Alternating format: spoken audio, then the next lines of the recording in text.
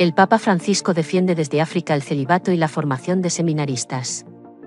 En su encuentro con sacerdotes, religiosos y seminaristas de la República Democrática del Congo, el Papa Francisco pidió ser signos luminosos de disponibilidad total al reino de Dios viviendo el celibato y defendió que la formación del clero no es opcional y debe continuar toda la vida.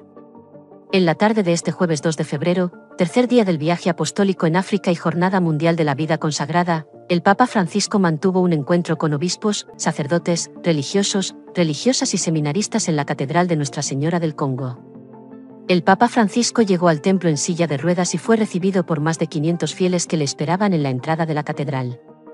Antes de escuchar los testimonios de algunos religiosos del país, el Santo Padre rezó durante unos instantes frente a las tumbas de los arzobispos fallecidos. En su discurso dirigido a los más de mil religiosos presentes, el Santo Padre dijo que, poniendo a Jesús en el centro nos cambia la perspectiva sobre la vida y, aun en medio de trabajos y fatigas, nos sentimos envueltos por su luz, consolados por su espíritu, animados por su palabra, sostenidos por su amor. A pesar de los desafíos que hay en el compromiso sacerdotal y religioso, el Papa Francisco aseguró que también hay mucha alegría en el servicio del Evangelio y son numerosas las vocaciones al sacerdocio y la vida consagrada. En este sentido, explicó que es la fidelidad de Dios la que nos da certeza de que nos acompaña incluso en las dificultades, y destacó que Dios es misericordia, compasión y ternura. Además, aseguró que el Señor se revela como Dios de la compasión y nos asegura que nunca nos dejará solos, siempre estará a nuestro lado, siendo refugio y fortaleza en las dificultades. El Santo Padre también hizo un llamado a los presentes y les pidió servir al pueblo y no servirse del pueblo, ya que de esta forma el sacerdocio y la vida consagrada se vuelven estériles. Para vivir de este modo la vocación, el Papa destacó tres tentaciones que vencer, la mediocridad espiritual, la comodidad mundana y la superficialidad. En primer lugar, el Papa pidió a los presentes no olvidar que el secreto de todo está en la oración, porque el ministerio y el apostolado no son, en primer término, obra nuestra y no dependen solo de los medios humanos. Además, recordó que la celebración eucarística cotidiana es el corazón palpitante de la vida sacerdotal y religiosa. También invitó a no descuidar la liturgia de las horas y la confesión, ya que siempre necesitamos ser perdonados para poder ofrecer misericordia. El Santo Padre también aconsejó reservar cada día un tiempo intenso de oración, para estar con nuestro Señor, corazón con corazón. Un encuentro íntimo con aquel que amamos sobre todas las cosas, explicó. La oración nos hace salir del yo, nos abre a Dios, nos vuelve a poner en pie porque nos pone en sus manos, crea en nosotros el espacio para experimentar la cercanía de Dios, para que su palabra nos sea familiar y, a través de nosotros, lo sea a todos los que encontramos, añadió.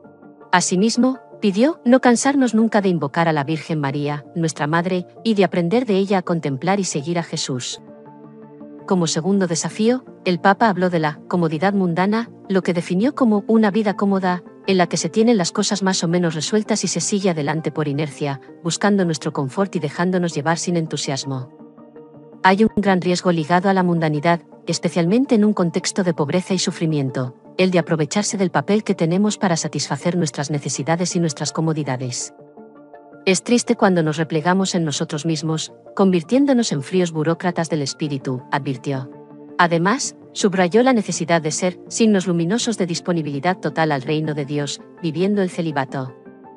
No permitamos que esos vicios, los cuales quisiéramos arrancar de los demás y de la sociedad, se encuentren bien arraigados en nosotros.